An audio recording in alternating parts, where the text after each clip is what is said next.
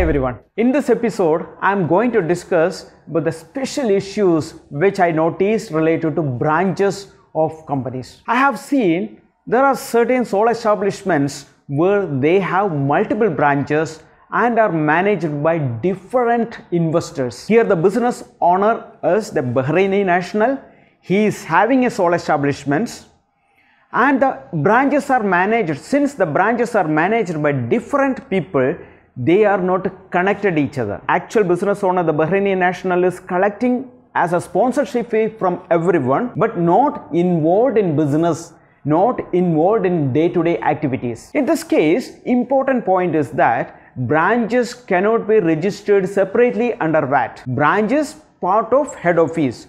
So the main company has to be registered. The branches should collect all the information, transaction details and compile the data and file the return along with the main sole establishment company. Here what happens, since every branches are doing their business independently, they may not communicate properly on time. If any of the branches information is missed out, report the real business owner, the actual business owner is responsible for that. So in this scenario, I would like to get the attention of such business owners and make sure that whatever branches are having under your main company, make sure that you collect the information on periodic basis and file the information properly to the authority through VAT return. Please keep in mind, if the VAT law is not complied with, the penalty is huge.